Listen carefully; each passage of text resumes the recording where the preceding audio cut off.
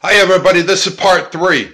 And this is what the, the pasta looks like after it's done with the provolone cheese, the broccoli, the chicken. And here we go, there's our finished product. See? Oh my god, see how the cheese sticks? The chicken is perfectly white. Oh, and the cheese on top. Oh, mamma mia. Mm. Look at the chicken, it's just so perfect. Oh, bellissimo, mamma mia!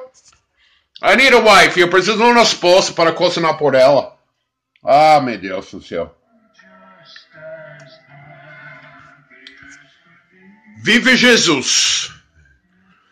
May God live. Amen. All right. I'll see you guys shortly. Hope you watch part one and two. And this is part three. So, how to make the Italian recipe straight from Napoli, Napolitano to the United States. All right. Ciao, ciao. Arrivederci.